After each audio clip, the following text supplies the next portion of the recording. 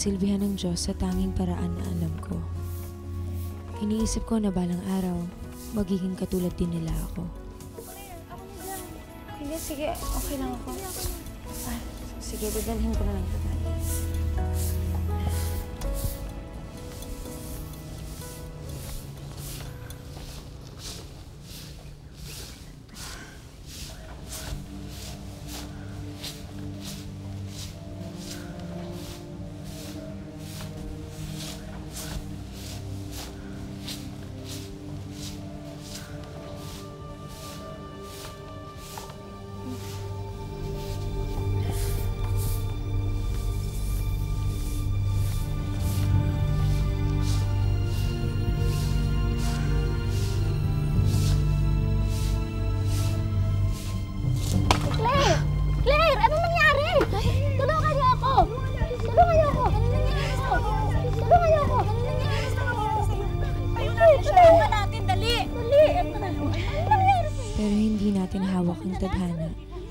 siguro nga may ibang plano ang Diyos para sa Okay akin. lang?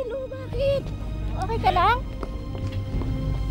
Claire, hindi ito ang unang insidente na nahimatay ka habang nagtatrabaho.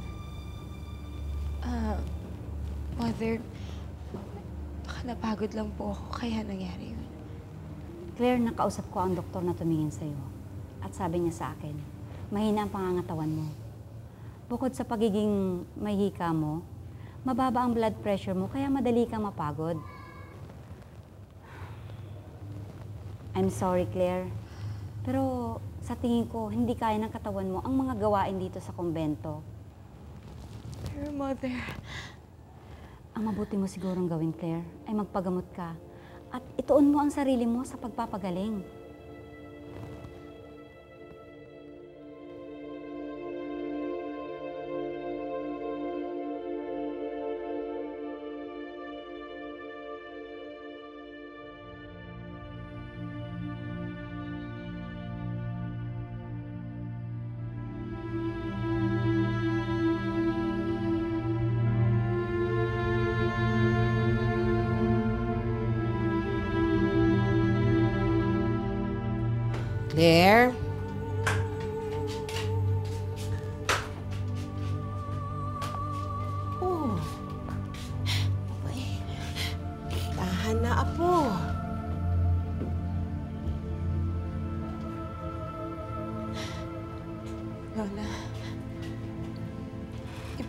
Sinasabi sa akin na may dahilan kung bakit ako nakaligtas dun sa aksidente nung nabatay yung mga magulang ko.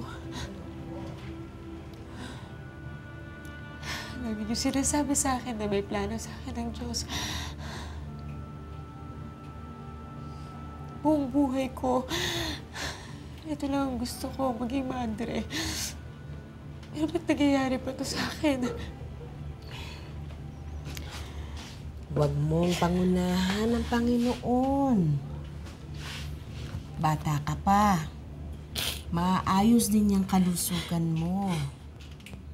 Tsaka, malay mo, talagang kailangan mo magpahinga. Makakapasok ka rin sa kumbento. Ipagnunubin ako yun. Hmm? Alam mo, kung talagang yan ang nasa loob ng puso mo, natitiyak kong ibibigay sa iyo ng Panginoon sa tamang panahon. Eh, marami pa namang paraan na para ikaw ay mapaglingkod sa Panginoon. Kahit kung wala ka sa kumbento.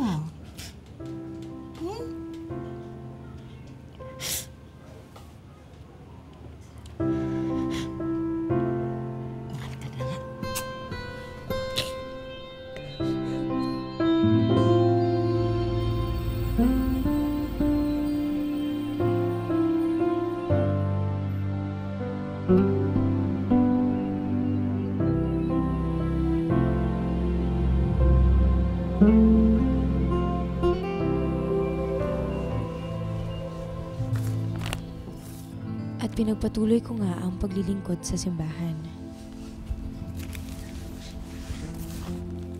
Hindi ko alam na darating ang hinihintay ko sa panahong hindi ko inaasahan.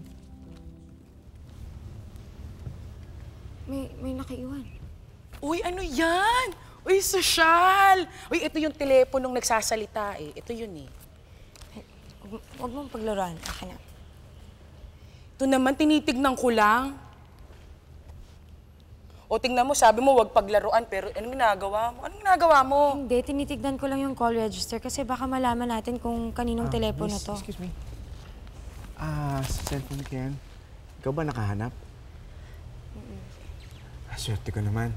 Ah, nahanap ko na yung cellphone ko. Maganda pa, nakakapulot. Ikaw ba talaga may-ari nito? Oh, ah, yung wallpaper ko, yung aso ko, yung bundog. Ito. Cute. Ah, ano yun? Nung bulldog. Ang cute ng bulldog, oh. Cute ng bulldog. Ah, Sige, sa susunod, mag-ingat ka. Ah, Hindi ka naman namin pa tayo nilinisin.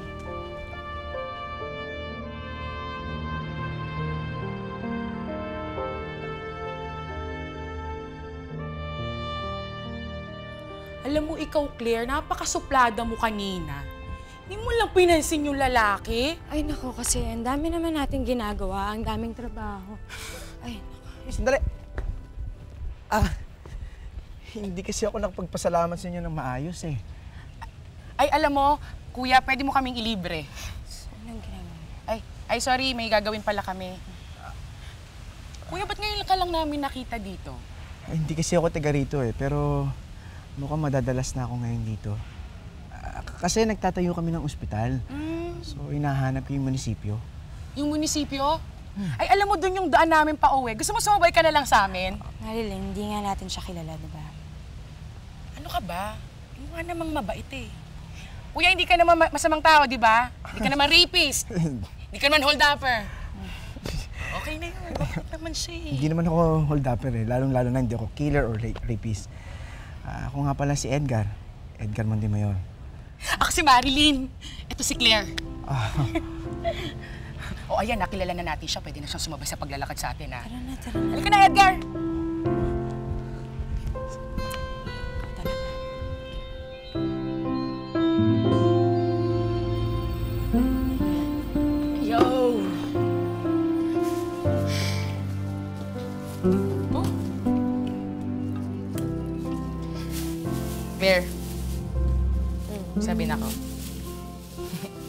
Nga po si Edgar, no? Saan naman ang galing yan? Wala, naisip ko lang. Bakit? Gwapo naman talaga siya eh. Di mo ba napansin kahit konti? Hmm, di ko napansin eh. Ayoko sa'yo. ah, dito ba ang bahay nila, Claire? Oo, dyan pa. Punta Diretso ka lang. Okay. Salamat ah.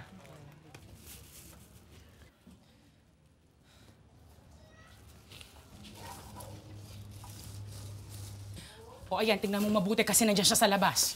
Ha? Andyan, ano ginagawa niya dito? Oo! Sabi mo wala ako, bilis. Kap- Uy! Hi, Edgar! Kamusta? Okay naman. Di ba bahay to nila, Claire? Nagtanong kasi ako dun sa kanto eh. Mm, oo, ito yung bahay nila Claire. Hindi ka naman naliligaw. Ah, Kaso wala si Claire. Wala. ah ganun ba? Ibibigay ko lang ito sana sa kanya eh. Simpleng pasasalamat lang doon sa tulong niya sa akin. Okay, ako na. Ah, hindi, okay lang. Eh, hintayin ko na lang siya. Hmm? Hintayin ko na lang. Okay lang? Matatagal, matatagal lang si Claire. Gagabihin. Oh. Oo, gagabihin. Alam mo, ako na lang magbibigay niyan. Thank you, Kamo. Thank you. Oo, oo, oo. Sige, makakarating. Bye, Edgar! Ingat ka, ha? Oo. Okay, salamat din. Sa, sa, ayan. Bulaklak. Thank you daw. Kahapon. Mulong din naman ako kahapon, ah. Wala akong bulaklak. Alam mo, napapansin ko, ah, kahapon yung mga tinginan niyo. Feeling ko, gusto ka nung Edgar. Ano ba naman? Eh, ano ba namang ibig sabihin ng bulaklak na binigay ng lalaki sa babae? Ewan ko ba naman kasi sa'yo, Claire? Ano ba naman yung ligawan ka? Ay nako, baka magalit lang si Lola. Tsaka buong buhay ko, handa na akong pumasok sa kumbento, kaya wala akong panahon para sa ligaw-ligaw na yan. Eh, ayaw nga sa'yo ng kumbento eh. Alam mo, Claire, kung naging madre ka, okay lang tumandang dalaga. Eh, kaso hindi. Bakit ka nagtitiis? At saka aminin mo, Claire, type mo rin si Edgar. Oh, huwag kang magsisinungaling. Kilala kita. Kabisado na kita. Alam mo, ngayon lang kitang nakitang naaligaga dahil sa lalaki. Kung ano-ano ang pinagsasasabi mo. Oh, kunwari ka pa.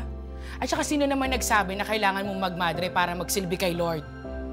Hmm?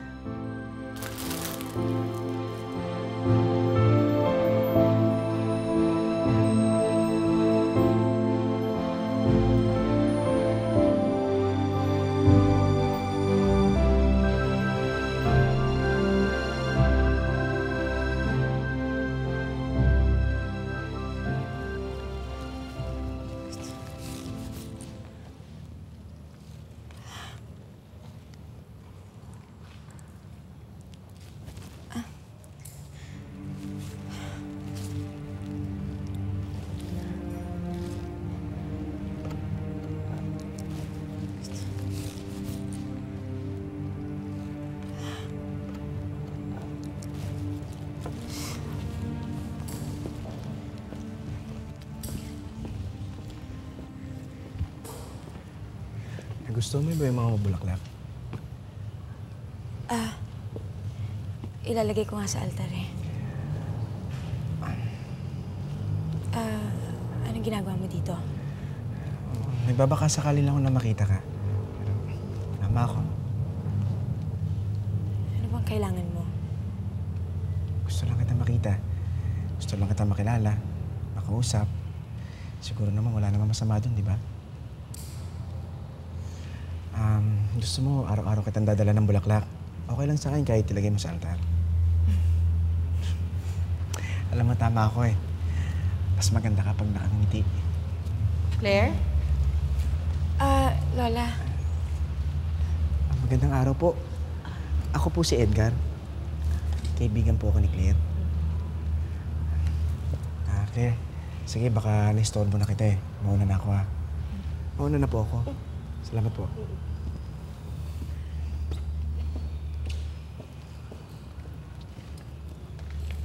Bakit hindi mo papuntahin sa bahay ang manliligaw mo? Hindi yung dito ka pa sa simbahan nagpapaligaw. Eh, hindi po kayo nagagalit? Bakit naman ako magagalit? Ayan oh, ang bata-bata at ang ganda-ganda ng apo ko para hindi ligawan. At kung sakali man na mahulog ang loob mo dun sa Edgar baka mo, ay, hindi naman siguro ibig sabihin nun eh mababawasan na ang pagmamahal mo sa Diyos. Malay mo, ito talaga ang plano ng Diyos para sa'yo.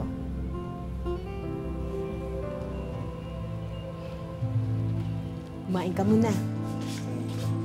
Pasensya ka na ha.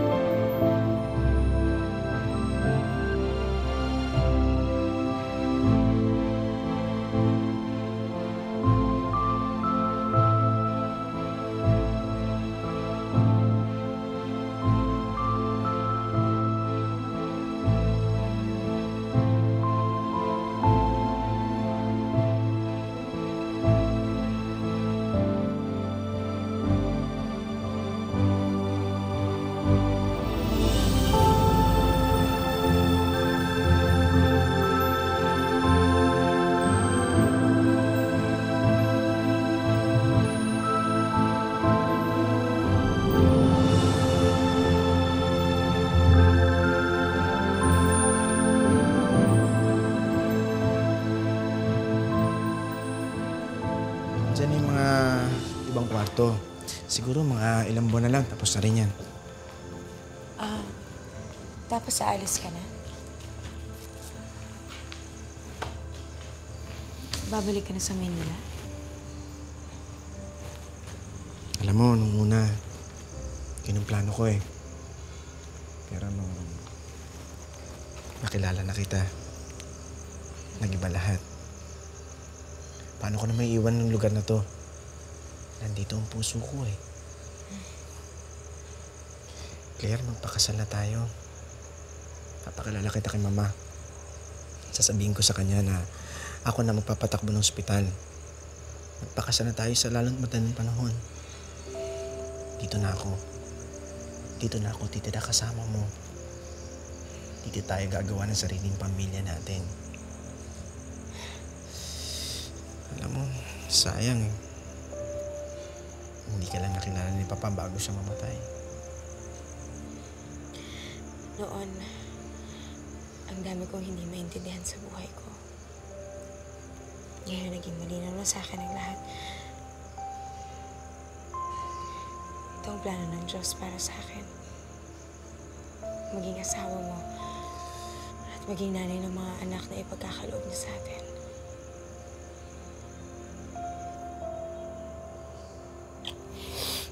Mahal na mahal kita, Claire. Mahal din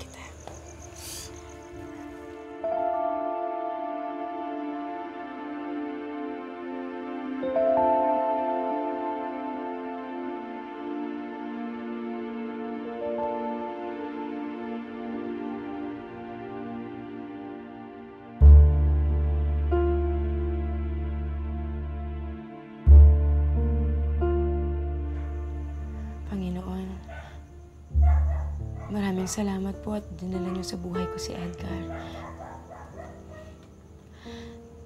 Ngayon alam ko na kung ano ang plano ninyo para sa akin. Sisiguraduhin ko na magiging mabuti akong asawa kay Edgar. Magiging mapagmahal na ina sa mga magiging anak namin. At siguro, doon man pagsilbihan ko kayo ng tapat.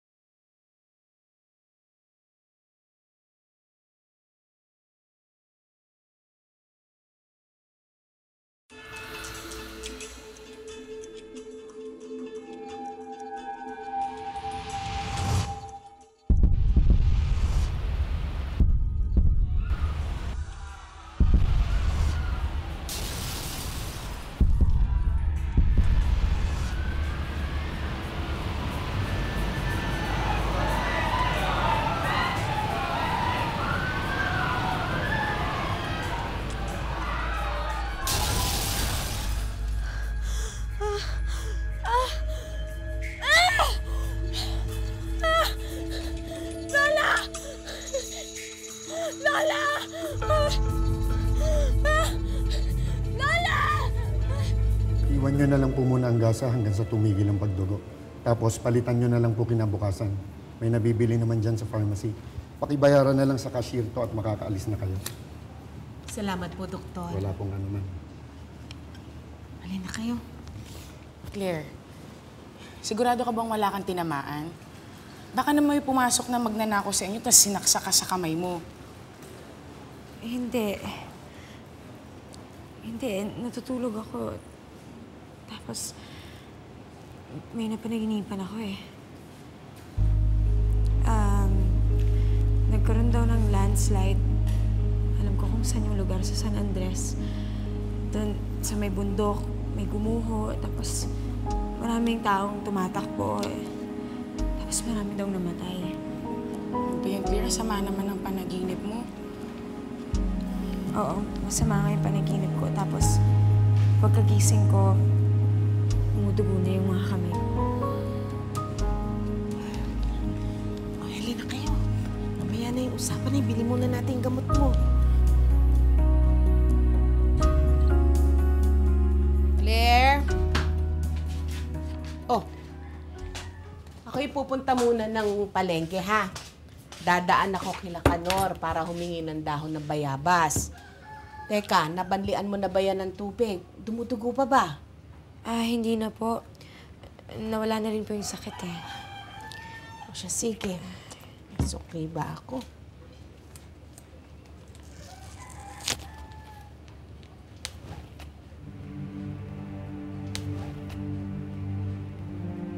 Lola? Bakit?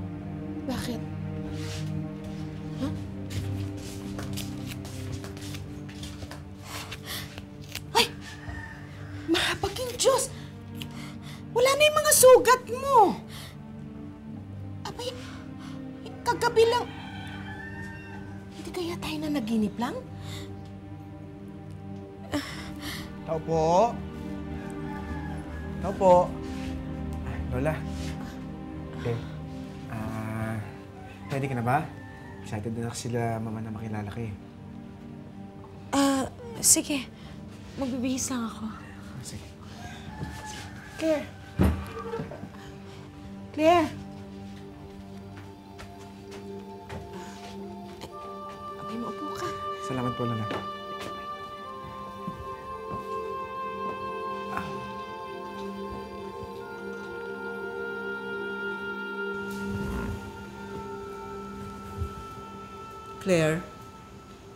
What do you do? Ma, um, active si Claire sa simbahan at uh, nag-volunteer siya doon. You hardly call that a job.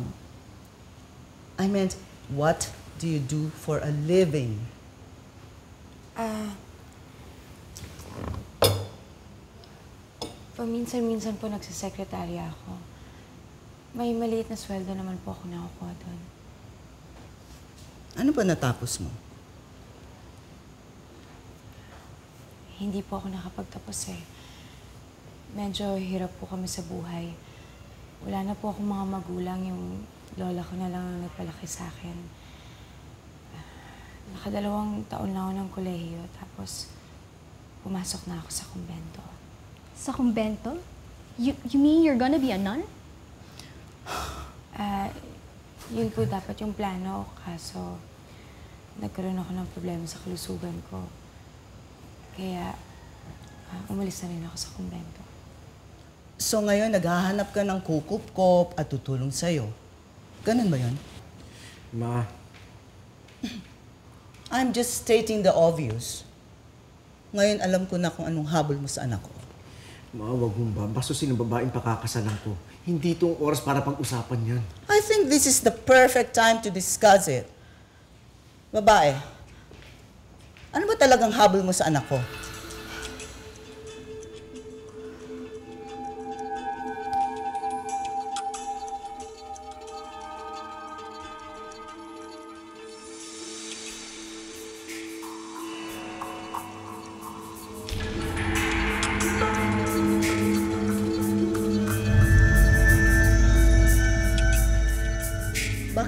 Ka makasagot? May stop it, pwede? Claire, sandali, Claire. Pabayaan mo na ako. Ano? Masaya na kayo? I merely asked a question. Bastos ang girlfriend mo. Anong bastos? Matapos kong tanggapin siya dito sa bahay ko, lalayas na lang siya ng ganyan. She has no manners. What did you expect? Huwag kang nakikialam. Hindi niyo siya kilala. Ikaw ang bastos.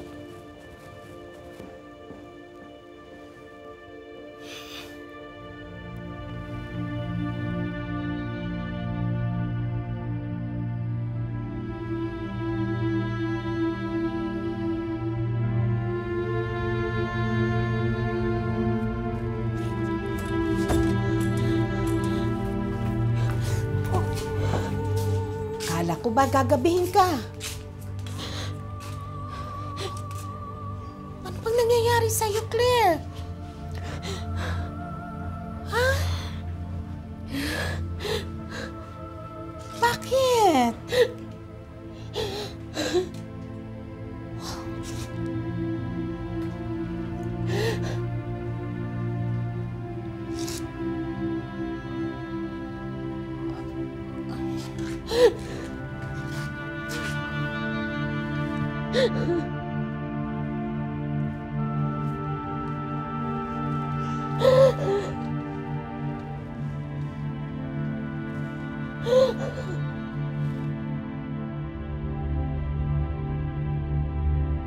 Ba ay biglang lumalabas at biglang nawawala ang sugat?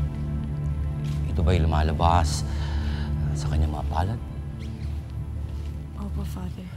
At nagkakaroon din po siya ng panaginip na hindi niya maintindihan. Father, ano po nangyayari sa akin? Nababaliw na po ba ako? Ah, Claire, hin- hindi ka nababaliw. Tama ang aking hinuha. Ito ay ang marka o sugat na nakikita natin sa ating Panginoon. Ito ay tinatawag na stigmata. Stigmata? Diyos ko, parang yun yung sa milagro ng, ng Panginoon. Maaari nating tawagin itong isang milagro sapagkat hindi ito mapapaliwanag ng sino man. Ito ay karaniwang makikita natin sa mga deboto. Ito ay makikita rin natin uh, sa, sa mga santo. Kung kaya nagkakaroon siya ng mga kakaibang panaginip. Maaari, maaari nating sabihin na ganun. Ma- Ang pinakamagandang gawin natin ay kausapin natin ang obispo para magkaroon sila ng investigasyon tungkol dito. Hindi. Hindi ito stigmata. Hindi. Claire! Kanina pa kita hinahanap. Narinig mo ba? Nagkaroon ng landslide sa San Andres. Di ba yun yung napanaginipan mo?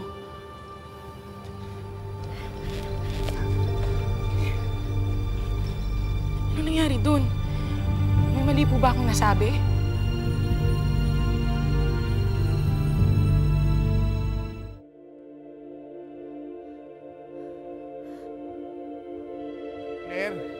Claire, alam ko nandiyan ka. Buksan mo naman tong pinto, oh. Claire, mag-usap tayo. Claire! Claire! Claire! Claire! Edgar, umalis ka na. Claire naman, please naman, oh. Ako na humihingi ng tawad doon sa sinabi nila, mama. Huwag mo na silang isipin. Ang importante tayong dalawa.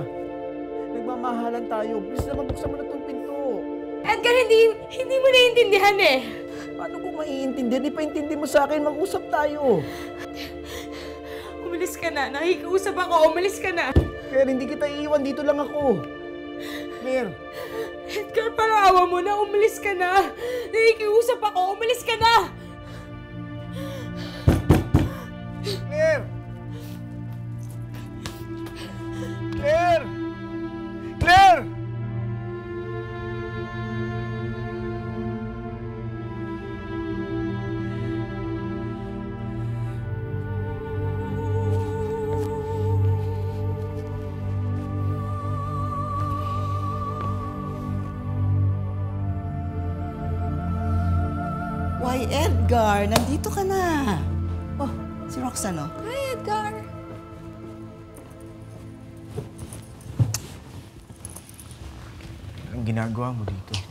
Relax. Hindi lang naman ikaw ang pinupuntahan ko dito. Did you forget I happen to be best friends with your sister? Roxanne, hanggang ngayon hindi ko pa rin maintindihan why you two broke up. You're such a perfect couple. In fact, bagay na bagay kayo. Hindi katulad nung bago niyang girlfriend. Ma, Nagsasabi lang naman ako ng totoo. Oh, ano nga pala yung sinabi ni Claire? Masama ba yung loob niya sa akin? Ayun. Well, not that I care.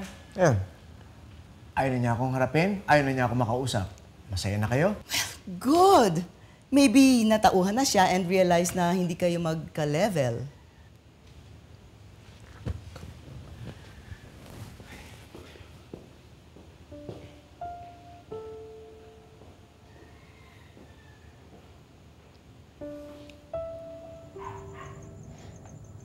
Hindi ko maintindihan kung bakit nangyayari sa akin to, Lola.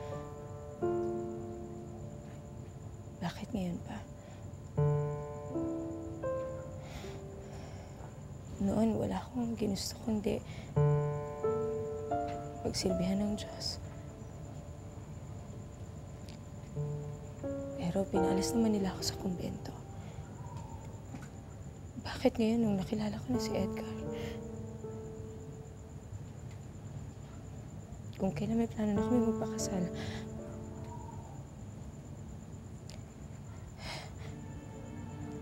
hindi ko maintindihan. Hindi ko alam kung anong plano niya para sa akin. Bakit niya ako pinahihirapan ng ganito? Huwag mo sabihin yan. Huwag mong pangunahan ng Panginoon. Itinuring na milagro yung nakaligtas ka sa aksidente na pumatay sa mga magulang mo. Naniniwala ako na isang milagro na naman ang nangyayari ngayon sa'yo. Kung ikaw man ay kanyang pinili para maging, maging bahagi o makasama niya sa kanyang mga sugat, may dahilan yun. Kung hindi mo man maintindihan ngayon yun, magtiwala ka sa kanya. Pero Lola, paano naman si Edgar? Paano naman yung mga plano namin dalawa? Sabihin mo sa kanya kung anong nangyayari sa'yo. Kung talagang mahal ka niya, tatanggapin niya ang lahat-lahat tungkol sa'yo.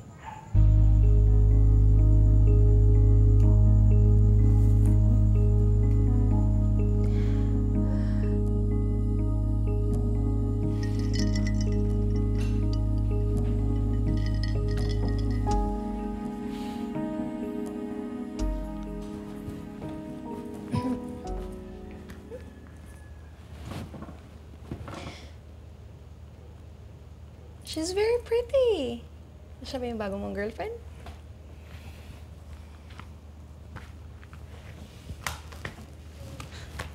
I take it. Gaway kayo? Pwede ba, Roxanne? Ayokong pag-usapan. Edgar, ano ka ba? Kahit wala na tayo, we can still be friends, you know? And if you need someone to talk to, nandito lang ako. Literally. I always hang out here with your sister. Kaya magsabi ka lang. Salamat. Pero gusto ko muna mapag-isa.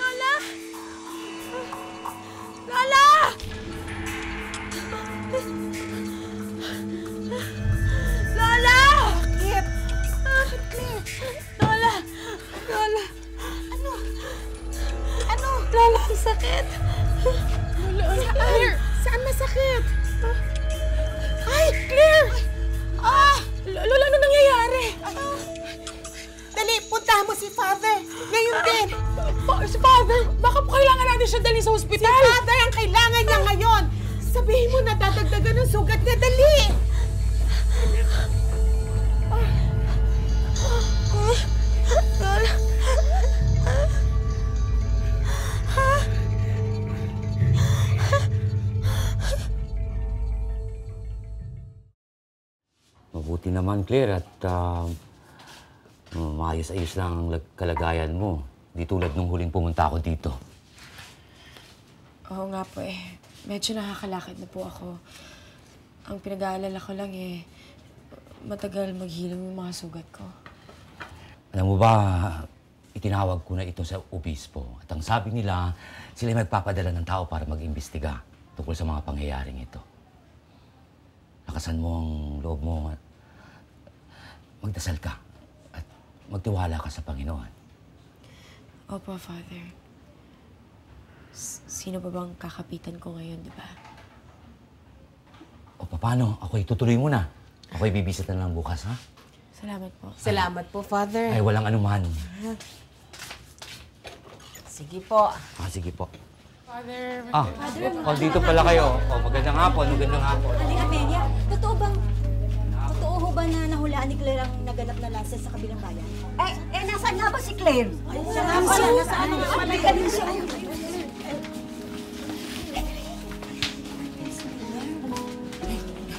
Lol Amelia, pasensya na po kayo. Nasabi ko po kay nanay.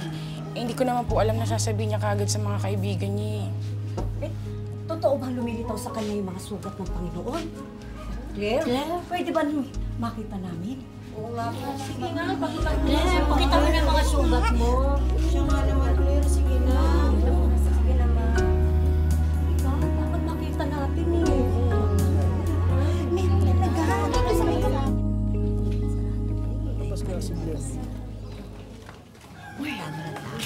Naku, totoo nga. Nagdurugo yung mga sugat ni Claire. Paano naman kayo nakakasiguro na hindi niya sinusugatan yung sarili niya? Oo nga, eh, hindi naman natin nakikita yun eh. Ay naku, bahala nga kayo kung ayaw niyo maniwala. Basta ako naniniwala, ako na may milagrong nangyayari dyan kay Claire. Kaya nga ako, dinala ko dito yung anak ko, nagbabakasakali ako na magamot yung pilay niya. Paano ba yan? Paano napilay? Napilay? Ewan ko ba? Yung anak ko, dadaling ko. Basta. napagaling niya, maniniwala. Sana nga. Alam ko may milagro dyan. Hindi ko alam kung anong gagawin ko, Father. Hindi ko alam kung paano ko harapin ng mga tao. Alam mo, Claire, simula ang nang lumabas ang balita at nalaman ng mga tao ang nangyayari sa iyo, mas dumami ang nagsisimba sa ating parokya. Marami sa kanila ang gustong makita ka. Kahit papano, nakatulong ka sa panunumbalik ng pananampalataya ng mga tao sa ating simbahan.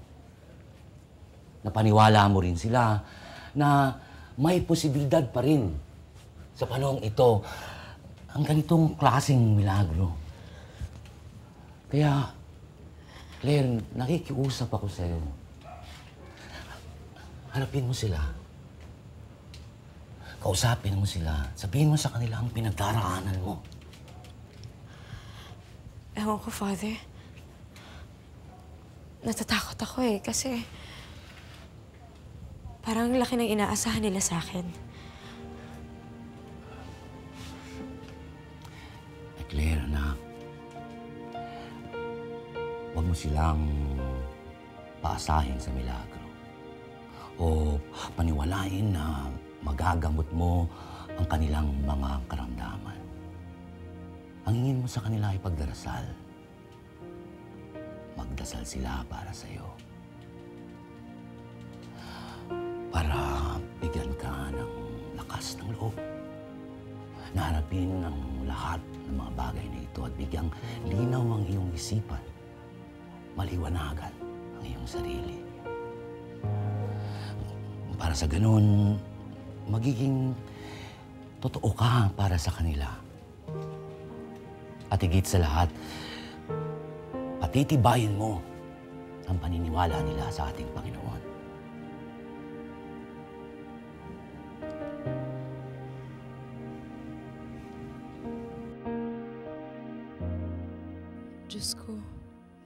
Po alam kung bakit sa akin ninyo binigay ito. Pero kung ito po ang plano ninyo para sa akin, kung ito po ang paraan para makapaglingkod ako sa inyo, gagawin ko. Tatanggapin ko po ng buong buo. Ang hiling ko lang po ay gabayan ninyo ako. Tulungan niyo po ako. Asan ba kasi si Claire? Gusto na namin siya makita. Ba't niyo siya ilabas? Gusto namin makita si Claire. Totoo ba na dumudugo yung sugat niya? At totoo bang alam niya kung anong mangyayari bago pa mangyari ito? Oo nga. Ilabas niyo na ano kasi. Please. Saan ano ba siya? Ano? Ay, ayan na! Ayan na! Ayan na! Ayan na! Ayan na si Claire! Ayan na si Claire! Claire, gumutin mo yan ako, Claire! Teka lang ako muna! Sige, ako lang, Claire! Claire, bakit na namin ang sugat mo? Sige, Claire! Ano mangyayari?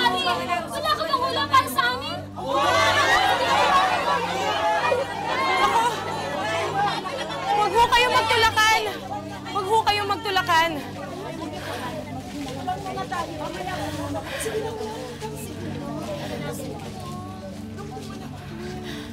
Ordinaryong tao lang po ako katulad ninyo. Wala ho akong kakayahan na pagalingin ang mga karamdaman ninyo. Oo, totoo na may lumilitaw na mga sugat sa mga kamay ko, pero hindi ko alam kung bakit. Kaya ako nandito ngayon sa harapin ninyo.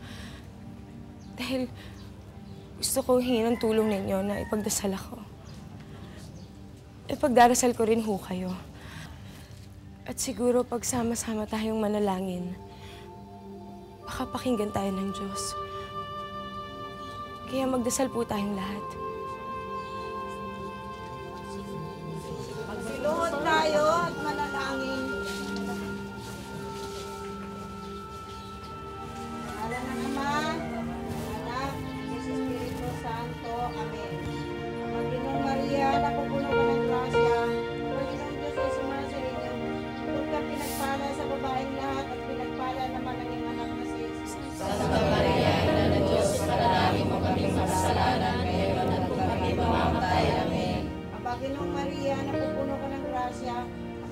Diyos ay sumasa inyo.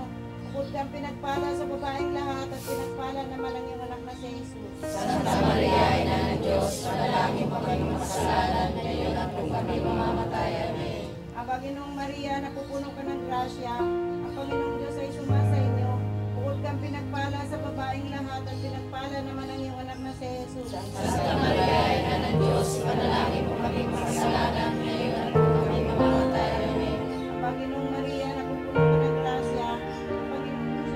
sinasabi mo nagkakaroon ka ng mga sugat? Stigmata ang tawag niya na father dito. Para daw itong mga sugat ng Panginoon. Nagtawag sila ng obispo para imbestigahan at patutuhanan kung ano talagang nangyayari sa akin. Claire, doktor ang kailangan mo, hindi obispo. Sumama ka sa akin, dadaling kita ngayon sa ospital. Edgar, hi- hindi mo naiintindihan eh.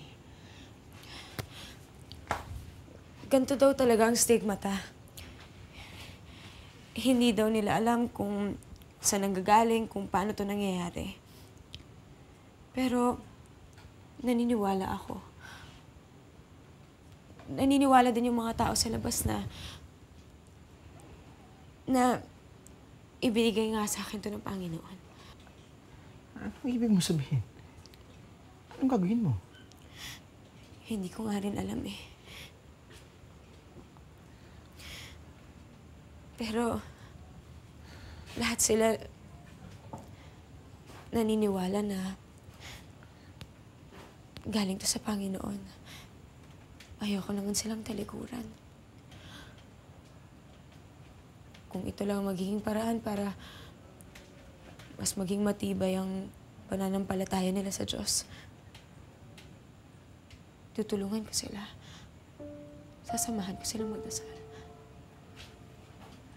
Claire, paano yung mga plano natin?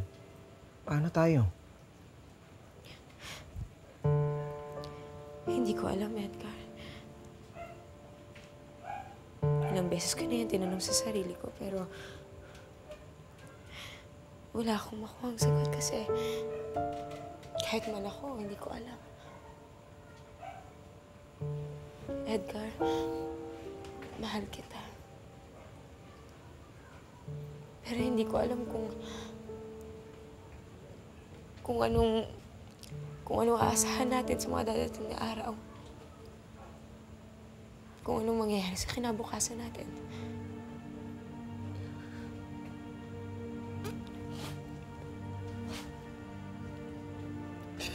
Claire, kung ano man yung mangyari sa susunod na araw, haharapin natin dalawa yon. Nandito lang ako sa tabi mo. Hindi hindi kita iiwan.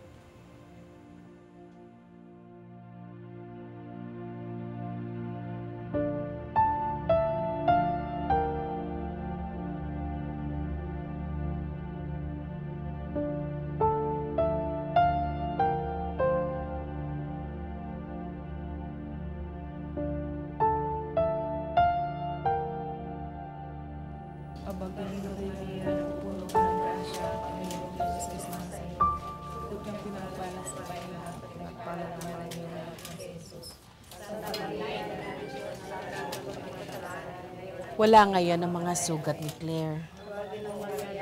Hindi namin alam kung kailan mawawala, kung kailan darating. Basta bigla lang dumarating, tapos bigla lang nawawala.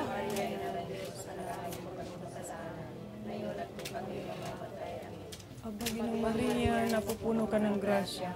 Ang Panginoon Diyos ay sumasayo. Bukod kang pinagpala sa kabaing lahat at pinagpala naman ang si Jesus. Santa Maria, Ina ng Diyos, panalangin mo kami makasalanan. Ayan na! Ayan na! Dumudugo na yung kamay niya! Ang Panginoon Maria, napupuno ka ng grasya. Sandali, sandali! Sandali, sandali! Claire! Sandali, sandali! Claire! Claire!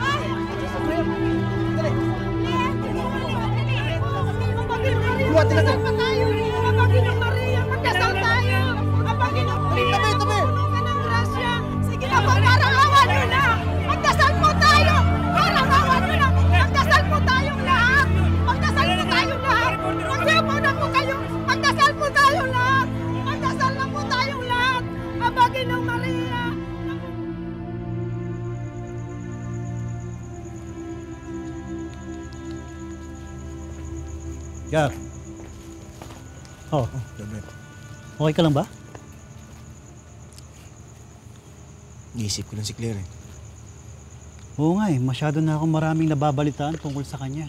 Ano ba yun? Totoo ba yung mga sinasabi nila tungkol sa kanya? Diba, paano yan? Tuloy pa yung kasal nyo.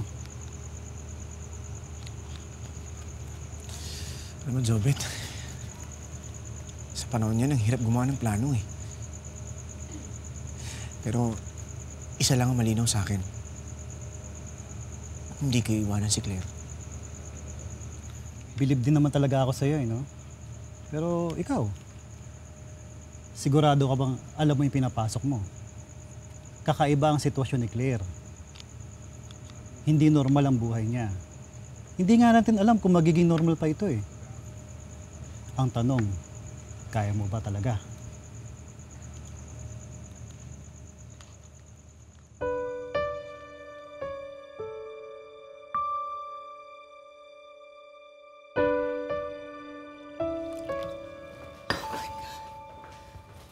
Edgar, ano to? Hindi niyo nabasa kung ano nakalagay dyan? Ikaw ang piloso po. I don't know why you have to get involved with this girl. Gagawin niya ang lahat para umangat. Tingnan mo, tingnan mo kung anong klaseng skandalo ang kinasasangkutan niya ngayon. Wala kayong karapatan husgahan siya. Ni hindi niyo alam kung anong pinagdadaanan niya. I don't care kung anong pinagdadaanan niya. Ang sa akin lang, eh, huwag mong hintayin na madamay ka o ang pamilya natin sa skandalong ito. Edgar, hiwalayan mo ang babaeng yan. Kung hindi, tatakwil niyo ako? Baka gawin ko. Eh, tigawin niyo. Hindi ako natatakot. Hindi ko hihiwalayin si Claire. Edgar! Edgar!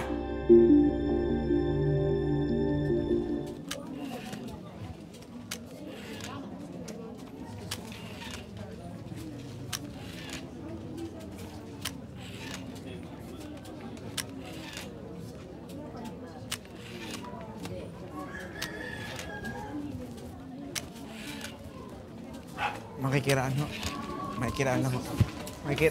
Hindi ba ikaw yung boyfriend ni Claire? Ano masasabi mo tungkol sa stigmata? Pwede ka bang interviewin? Hindi ba naapektuhan ang relasyon nyo? Tuloy pa ba ang kasal ninyo? Kailan nyo balak magpakasal? Ano nararamdaman mo na malang may stigmata ang girlfriend mo? Sandali, pwede tigilan niyo na Sir, ako. sir, sir, Relasyon niyo. sir, sir, sir, sir, sir.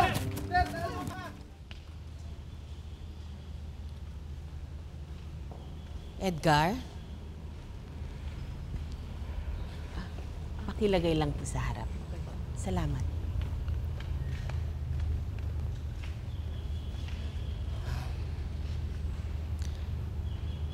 Alam kong nahihirapan ka na sa sitwasyon ninyo ni Claire.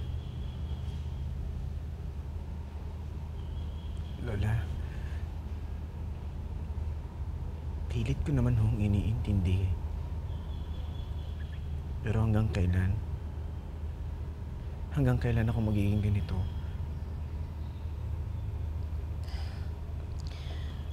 pa eh. Diyos lang ang nakakaalam. Sasagot siya sa tanong mo. Lola, sa nangyari sa buhay ngayon ni Kire? Sa tingin niyo ba matutuloy pa namin kasal namin? Matutupad ba yung mga plano namin? At kung sakaling matupad yun, magkakaroon pa ba kami ng normal na buhay? Lola, mahal ko po si Claire. Pero hindi ko lang sigurado kung meron pa akong puwang sa buhay niya.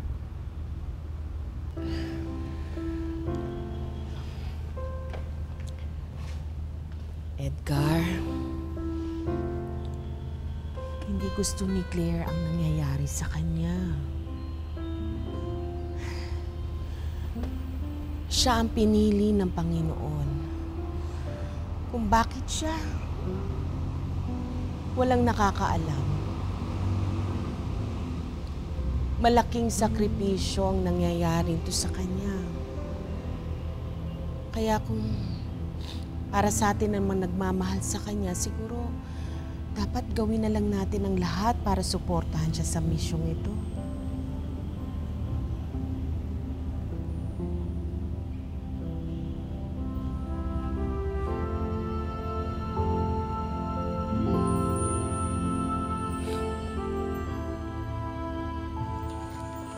Claire, aalis na kami.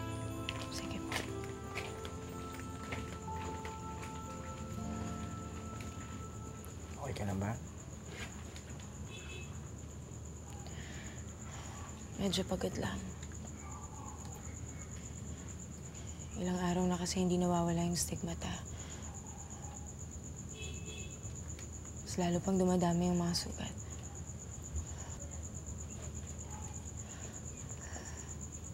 Edgar. Hirap na hirap na ako.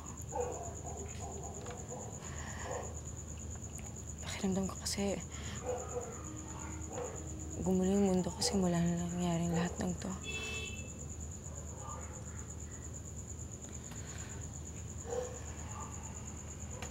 Pero, lumalakas ang loob ko. Tuwing naiisip ko na nandyan ka para sa akin. Siguro hindi ko makakayanan ng lahat ng to kung wala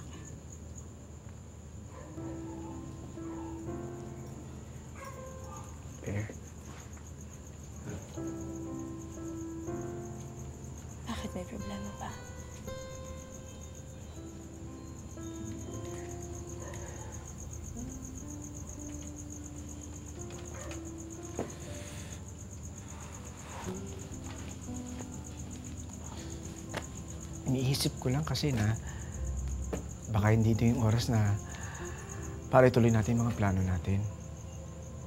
Sa dami na nangyari, hindi ko rin kasi alam kung, kung magkakaroon pa tayo ng normal na buhay.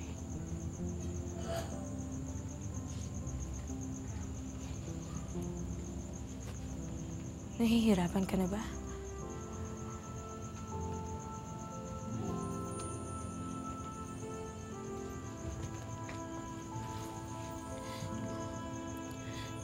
Aaminin ko, nahihirapan ako. Siguro mas madali pang tanggapin na ibang lalaki na lang nakalaban ko para sa'yo. Pero ito, hindi ko alam kung saan ko ilulugar ang buhay ko sa'yo, Claire. Hindi ko alam kung ano ang dapat kong gampanan. Wala. Ang importante sa akin, nandyan ka para suportahan ako. Para mahalin ako. Mahal kita, Claire. Pero iniisip ko lang na baka... Baka meron kang dapat gampanan na misyon. May plano ang Diyos sa para sa'yo. At ayoko maging sagabal doon.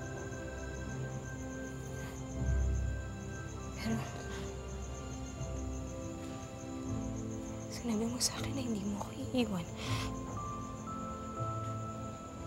Sumusuko ka na ba?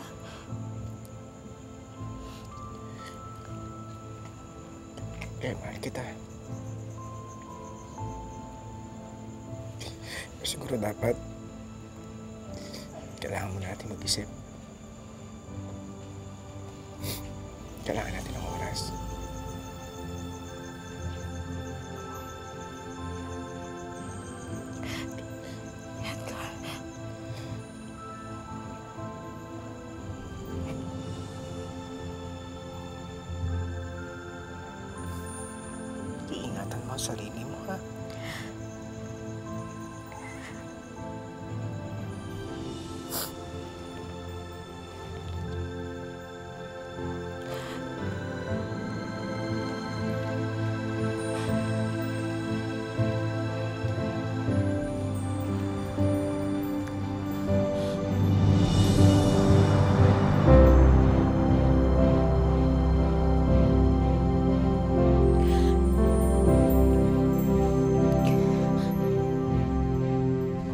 Kamusta na yung mga bulaklak natin? Ha? Ito po, ayos lang po. Oo. Claire, nandyan na si Manang Tess. Ano, magsisimula na ba tayo sa pagdadasal? Uy, Wala na si Edgar, Lola.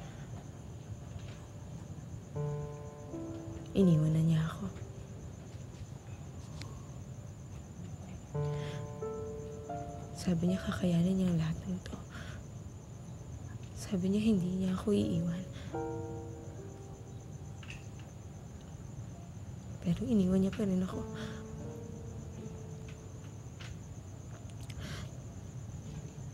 Paano na yung mga plano naming dalawa? Bakit kailangan pa mangyaring lahat ng to?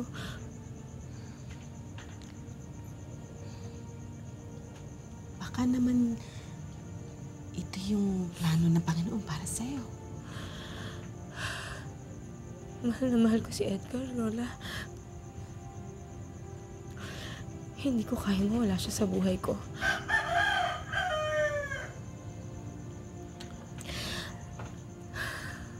Parang mas gusto ko...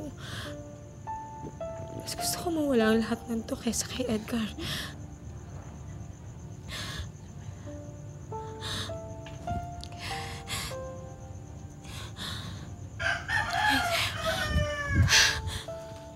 na ba tayo, Claire? Claire! Claire!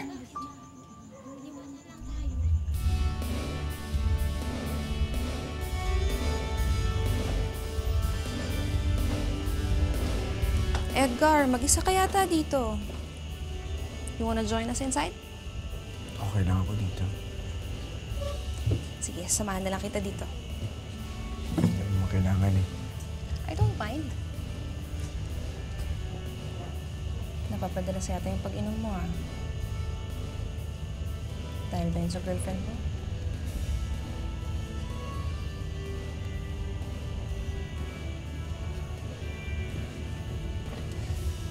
Asan?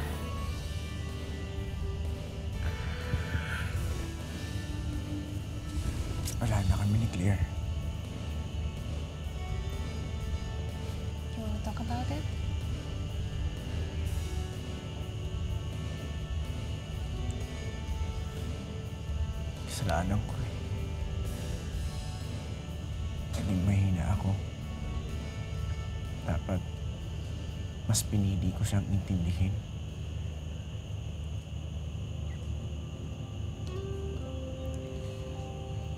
Pero ayoko maging sagaba siya sa misyon niya eh.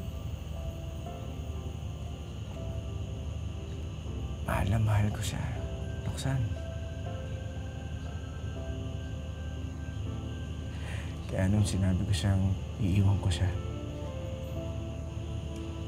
na nakita ko siyang umiiyak, halos madurog ang puso ko. Gusto kong bawiin yung sinabi ko sa kanya. Excuse me, andyan ba si Edgar? Bisita ka ba? Pasok na sa loob.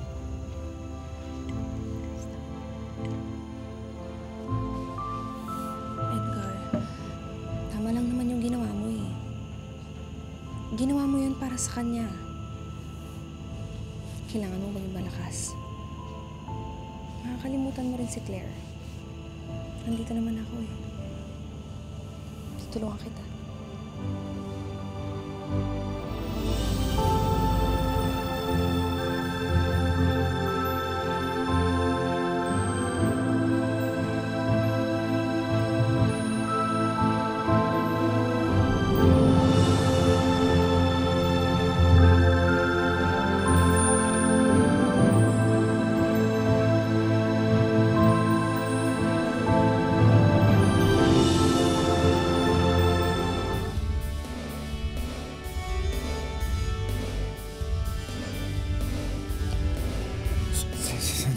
Roxanne. Mali eh.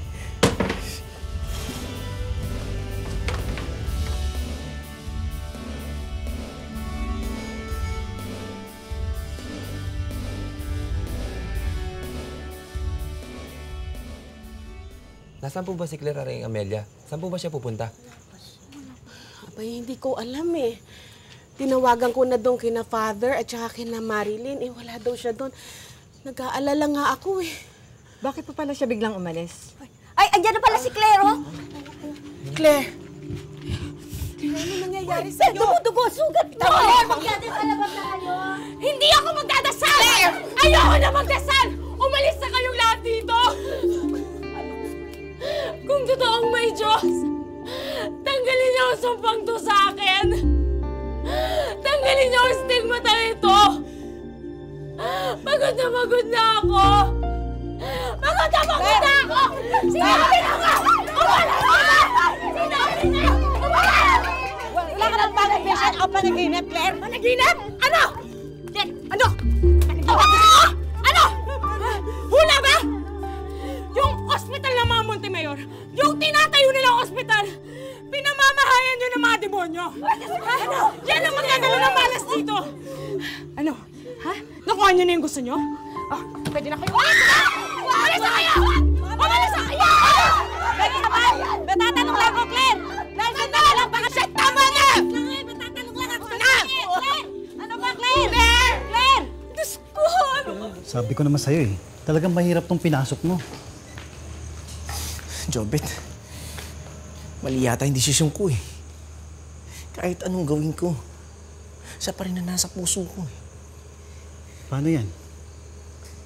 Handa ka ba na hintay na lang na matapos itong mga kaguluhan na to? Eh, paano kung hindi matapos? Paano kung hindi mawala ang stigmata?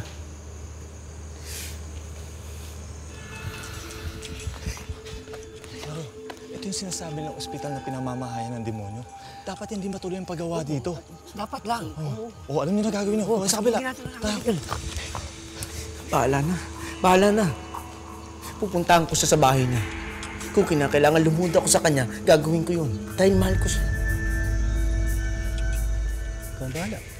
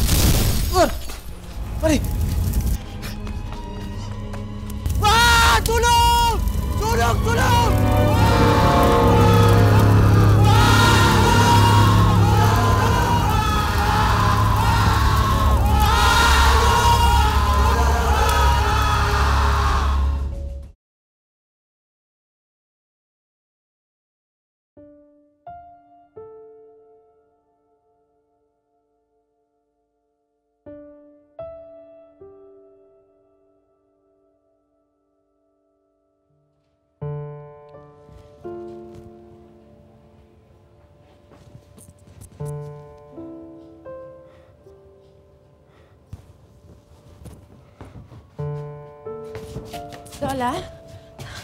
Lola? Wala na yung mga sugat.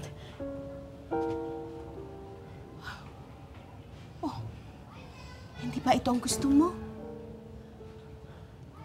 Claire! Claire! Sinunog ng mga deboto mo yung ospital. Ano? Si Edgar. Nandun siya nung nasusunog yun.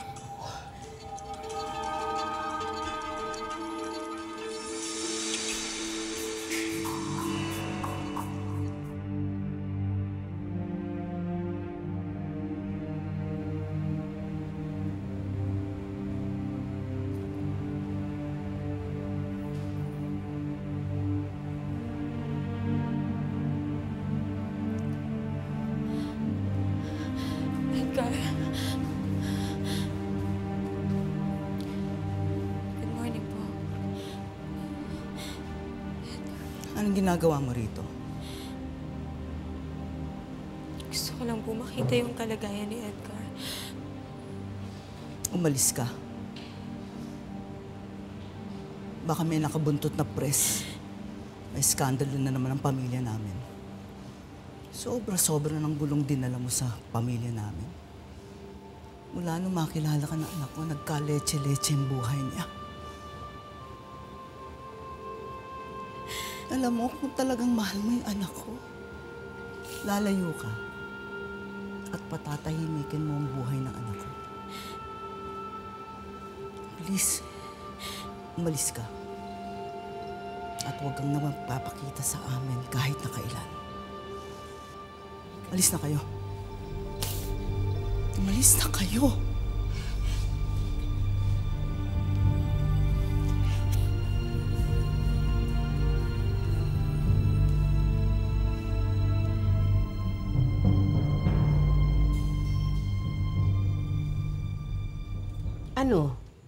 Hindi ka ba talaga lalabas?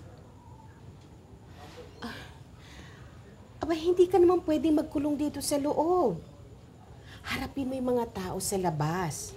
Pupunta pa nga si Obispo dito para kausapin ka. Lola. Ayoko pong makipag-usap sa kanila. Pagkatapos ng lahat na nangyari, parang wala na akong mukhang maihirap sa kanilang lahat. Claire, wag mong pagkaitan ng mga tao sa labas. Dahil sa'yo, lumalakas ang kanilang pananampalataya. Siguro nga nakagawa ka ng pagkakamali. O pero hindi ka naman pwedeng magtago na lang dito sa loob. Kinakailangan harapin mo ang iyong pagkakamali. Ilang linggo na ang nakalipas mula nang huling magpakita si Claire Adoracion sa mga tao. May bali-balitang wala ng stigmata, pero wala pang nagkukumpirma nito. Ano nga bang nangyari kay Claire? Ngayong araw din ito ay inaasahan ang pagdating ni Bishop Pablo Santiago para kausapin si Claire.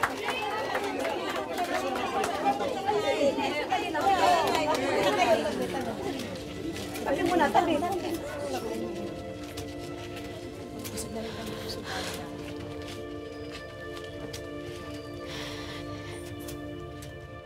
Maraming salamat ho sa pagpunta ninyo dito para makita ako.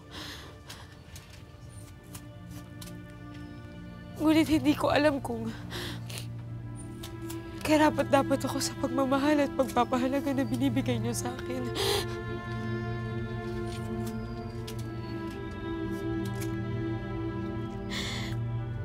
Wala na ho ang stigmata. Wala nang sagot mat. Wala na rin ho ang mga panaginip ko.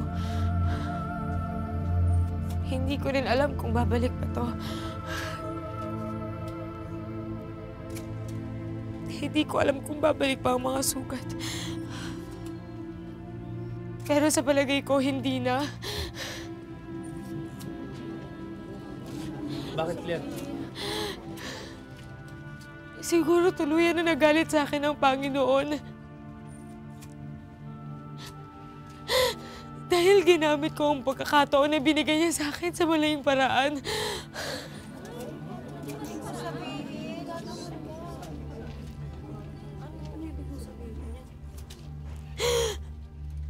May aaminin po ako sa inyong lahat. May aminin.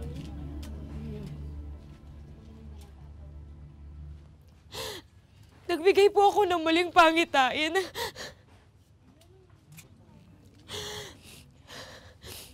Hindi po totoo na nakita kong namamahayan ng mga demonyo ang ospital ng mga Montemayor. Sinungaling pala siya. Nasabi ko ang lahat ng yun dahil sa matinding galit. Sana mapatawad ninyo ako. Alam ko dahil doon marami akong nasaktan sa lahat ng mga nasaktan ko. Sana mapatawad ninyo ako. Manluloko!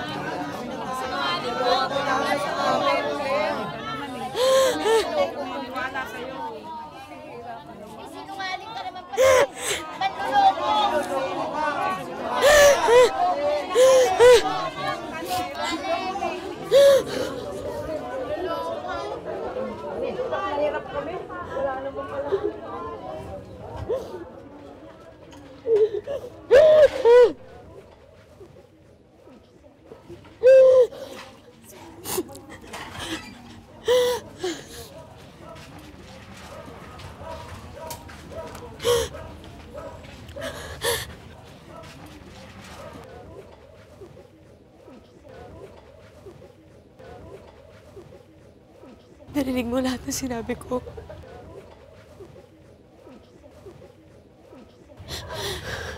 Nagpunta ako dito para magpaalam. Pinadala ako ni Mama pumunta ng Amerika para doon magpagamot. Sana gumaling ako doon.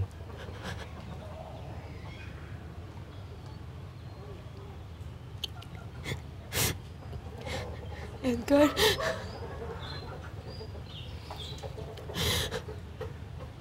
Sana mapatawad mo ako.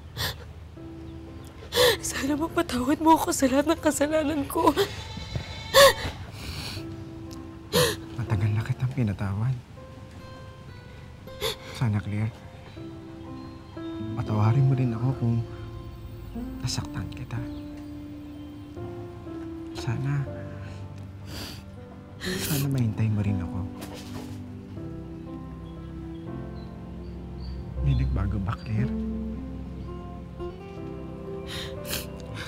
Akin, wala.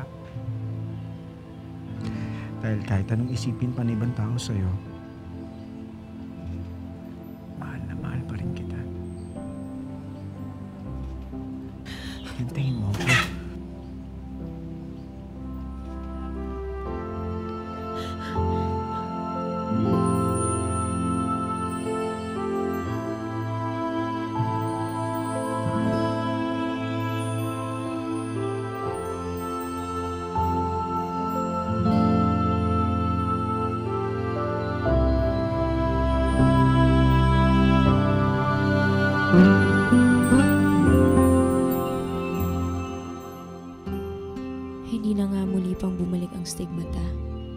Siguro nga dahil walang kapatawaran ang kasalanang nagawa ko.